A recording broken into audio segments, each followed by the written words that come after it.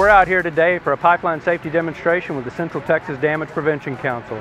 We're here to emphasize the importance of calling 811. If you're a homeowner and you're getting irrigation done or a fence constructed, you're going to need for the contractor that you're utilizing to call 811. If you're doing it yourself, the same rule applies to you. The excavator has to make the call. Once the marks are on the ground, you need to excavate safely around those marks, hand digging within 18 inches either side of the marking. What we're going to see here today is a live pipeline rupture. We're going to have the Austin Fire Department come in and demonstrate what they do when the fire department is called on the scene of a natural gas incident. And then we're going to show the gas company safely mitigating the damage and overall how to prevent the damages and then what steps to take in the event that you do the damage.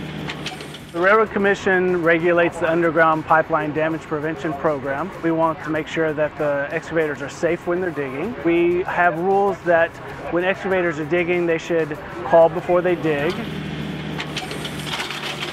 And they should be careful around the pipelines. There's a tolerance zone which they should only use hand tools in to take care and prevent any type of damage to pipelines.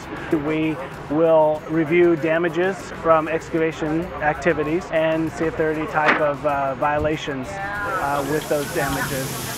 In a Texas gas incident, we're responsible for the mitigation or sometimes the exclusion zones in that area. We respond on a tiered response, which is we can have from anywhere from one to six or seven units on scene based on what we have there. The on-site crew takes command and control of the scene in there. We have to set exclusion zones that do not allow people in there. We help work with the gas company who are going to truly mitigate it.